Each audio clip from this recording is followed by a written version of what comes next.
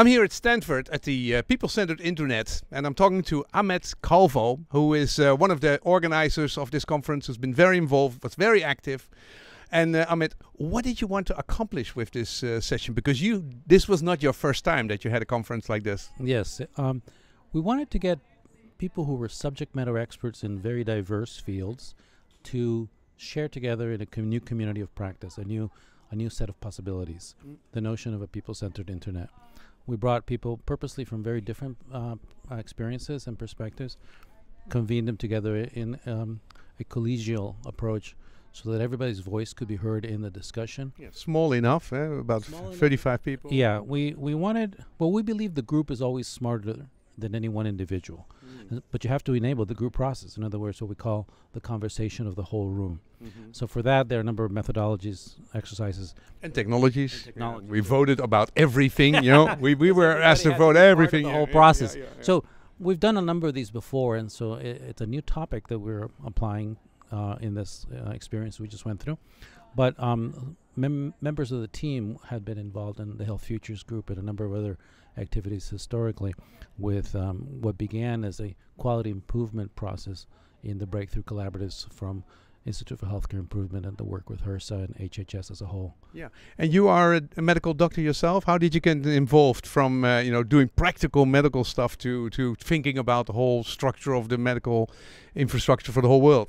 Yes, well, um, I've always been interested in um, sort of um, medicine from a, both a, a linear way narrow and the broader construct. Mm-hmm. Had to do with having grown up in Costa Rica and going back and doing some disaster medical teams there, and it was clear that you know there were a lot of um, social determinants of health aspects that were just as important as the medical care. Mm-hmm. So the quality of the health care delivery in the hospital is important, and so is the broader health construct of other aspects that are important for the actual population health. So, mm-hmm. in other words, about 80% of the determinants are actually yeah other than healthcare. It's wow, really? Yeah, it is that? Only, it's prevention. It's, pre- it's care versus cure, and yeah, um, a number of other uh, social aspects. So from connecting that up to the internet, turns out that people, for example, gain weight not as individuals but as a network, a little social network, and they can lose weight together.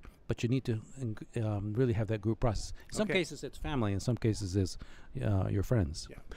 How happy are you with this two-day process? About the people who came, the enthusiasm, and also what came out of it? Yeah, we're thrilled. I mean, the bottom line was people really engaged. They were very excited, contributed um, with heart and with mind, and it worked. People really connected up, and there's all kinds of interesting stuff that they've already decided to do. Yeah, about a hundred ideas came out of this, so that will be taking a couple of decades to uh, to get uh, to get through that. Oh, well, we have impatience about that, though. That's why the "What are you going to do by next Tuesday?" question, because they they really got going on stuff even already. I mean, some people are blogging and already connecting up.